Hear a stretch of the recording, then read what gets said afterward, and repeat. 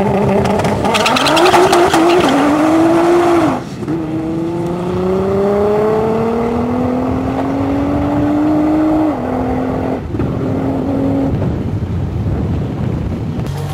see the pictures this week? Like you were watching hmm, TMZ, boy.